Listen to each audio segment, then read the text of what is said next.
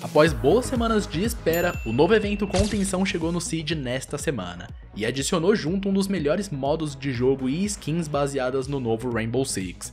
Apesar de todo esse conteúdo, existe um mistério que envolve supostos corpos de operadores mortos dentro do novo consulado infectado. Eu vou te explicar certinho como conferir esses corpos e explicar melhor o quão Ctrl-C Ctrl-V esse evento é do novo Rainbow Six recém-anunciado. Antes de mais nada, deixa o seu like aí embaixo para ajudar no engajamento positivo e participem do novo sorteio de subs de agosto.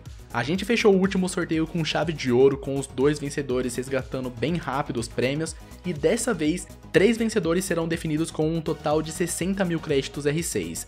Para mais informações, passa lá na Twitch agora que a gente está ao vivo e dá exclamação sorteio que todas as informações serão apresentadas de forma bem clara para você. São sorteios simples que a gente vem organizando, mas servem de incentivo para você apoiar o canal também lá na Twitch. Desejo boa sorte a todos os interessados e agora sim, bora pro vídeo de hoje. Bom galera, após semanas de especulação e ansiedade, chegou nesta semana em todas as plataformas o novo evento sazonal da North Star. O evento é chamado de Contenção e é um novo evento em parceria com Rainbow Six Extraction, que apresenta os acontecimentos vividos 7 anos após o atual Siege. O evento ele parecia ser um completo Ctrl-C Ctrl-V do novo jogo, que inclusive já é um Ctrl-C Ctrl-V do Seed. Porém, na prática, ele se mostrou bem diferente. O evento adiciona um novo modo de jogo de destruição de colmeias. O modo ele segue grande parte das regras da casual, um 5 vs 5 sem fase de banimento e com uma fase de preparação inédita de 30 segundos apenas. Na história, os atacantes são parte da unidade React, que é a mesma apresentada no novo Rainbow Six. Enquanto isso, os defensores são os Proteus, que são operadores que foram infectados pelo vírus, que é inclusive uma versão mais tenebrosa daquele parasita visto no Outbreak de 2018.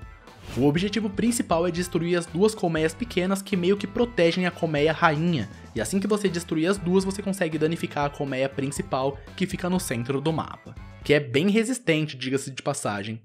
Claro que tudo pode se resolver na trocação, como sempre, e para isso a Ubisoft se baseou bastante na gameplay do famoso Doctor's Curse para criar uma gameplay diferenciada.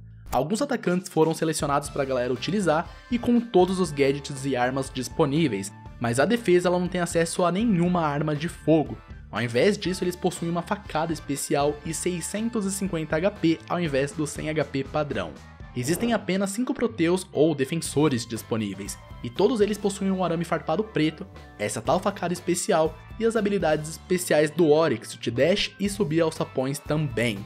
De primeiro momento parece que a defesa é super poderosa, mas com o passar de algumas partidas você percebe que na real não. Se o ataque vier trabalhando de forma conjunta com LMGs em mãos, a vantagem muda de lado bem rapidinho. Além do mais, da mesma forma que a facada dos defensores é one hit kill, a facada dos atacantes também consegue finalizar direto os defensores, o que particularmente eu achei bem bizarro, mas tudo bem. O evento também adiciona uma nova coleção com 33 itens novos para 10 operadores, 5 atacantes com os trajes da React e 5 defensores com esses trajes todos infectados. Em live a gente chegou a abrir todos os pacotes da coleção, e talvez já nessa próxima segunda-feira saia o vídeo dos melhores momentos como sempre. Mas se você quiser, essa coleção realmente adiciona alguns itens únicos na pegada do novo Rainbow Six e te permite desbloquear até uma skin universal tanto para suas armas quanto para os acessórios de arma também. Você pode comprar tanto essa skin universal quanto as headgears e uniformes separadamente na loja. Só que aí, como já é de se imaginar, vai uma moedinha embora. E como eu gosto de ressaltar em todos os eventos, se você tiver uma credibilidade guardada, você pode conseguir mais pacotes através dos desafios especiais do evento e convertê-los em créditos R6 para sua conta. Se você adquirir toda a coleção com os 33 itens, todos os pacotes adicionais que você ganhar depois você pode converter no valor de um pacote. Então todo pacote extra pode te gerar até 300 créditos R6 adicionais. Então acaba que compensa, né? Você investe seus 400 mil de credibilidade e, em compensação, ganha um valor para te ajudar na compra do passe de batalha ou até mesmo daquela skin especial. Então fica a dica, viu? E dentro dessa versão infectada do consulado, a Ubisoft inseriu alguns segredos e easter eggs bem legais. Como por exemplo, a estátua que fica ali na parte principal do mapa ela foi jogada lá pro telhado por conta do parasita. Enquanto todas as clarabóias foram fechadas, a Ubisoft limpou um pouco a administração, fechou a ligação entre a escada redonda e o saguão, adicionou a zona de extração do novo Rainbow Six em frente à garagem e até transformou as câmeras da defesa recurso dos atacantes. De fato, a decoração ficou bem característica do novo Rainbow Six, tanto que existe uma área em especial que ficou bem temática mesmo, que foi perto da escada redonda abaixo.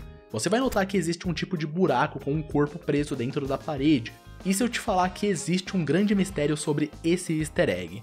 Se liga, você vai notar que em cima da escada redonda existe toda uma tubulação indo até o telhado. No meio dessa tubulação vai ter umas espécies de coolerzinhos. Você só precisa destruir esses dois coolerzinhos visíveis com tiros, facadas ou até explosivos. Vá até o telhado e posicione o drone dentro do tubo. Você vai seguindo todo o caminho que a tubulação te fornece e quando você menos notar,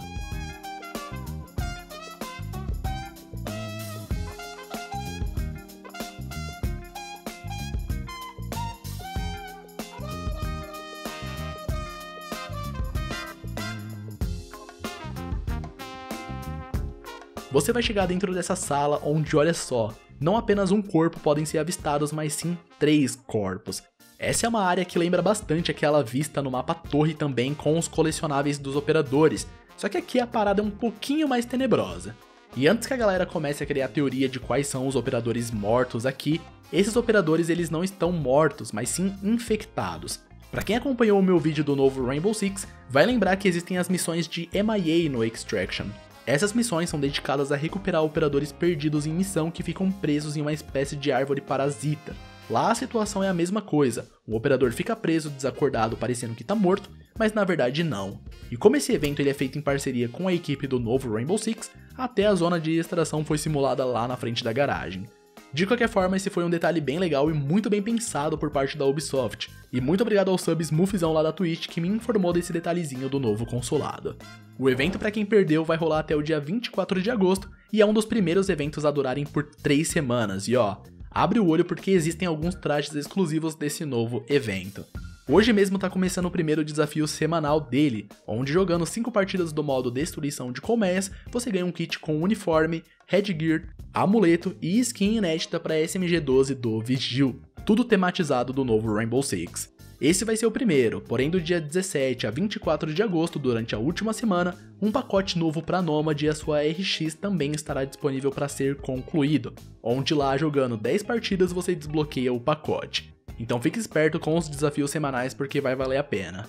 O curioso só é que esses dois pacotes foram removidos do Extraction, porque a princípio eles seriam utilizados no novo jogo, mas tudo bem, melhor que dessa forma chega de graça pra gente.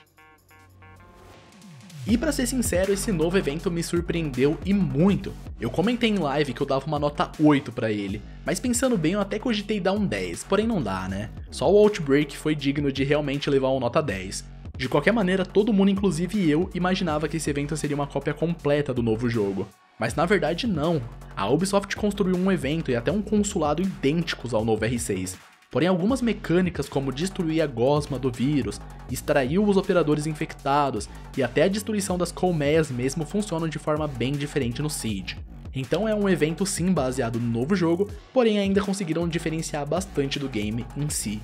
Ainda não acho certo cobrar 250 reais por um game como Extraction, e até por isso eles adiaram o game para janeiro de 2022 ao invés de setembro agora, porque realmente tinham algumas mecânicas meio estranhas no jogo. E talvez no futuro eles tornem o Extraction um game free to play, daí sim talvez se torne mais atrativo pra galera. Mas respondendo essa dúvida principal, o evento não se parece nem um pouco com o que o Extraction proporciona, o que me alegra e me preocupa ao mesmo tempo, mas agora eu quero saber a sua opinião. Para você, esse novo evento foi um dos melhores já feitos ou a Ubisoft fez mais do mesmo mais uma vez? Comenta aí abaixo que eu quero saber a sua opinião e a experiência de vocês com esse novo evento especial. E eu particularmente fiquei de cara, a Ubisoft mandou muito bem com esse novo evento e com certeza a gente vai jogar mais ele em live durante as próximas semanas. Inclusive fica até aqui uma dica de quanto dano cada ação resulta nos adversários para facilitar a sua gameplay, já que né, os defensores têm um pouquinho a mais de vida. Mas por enquanto é isso, galera. Eu vou ficando por aqui, mas se você gostou desse vídeo, não se esqueça, por favor, de compartilhar com seus amigos para me ajudar no feedback positivo, tá certo? Eu me chamo Gabriel Cerqueira e esse foi mais um vídeo do canal GCMR pra vocês. Espero muito poder contar com a sua presença no meu próximo vídeo e até mais, galera.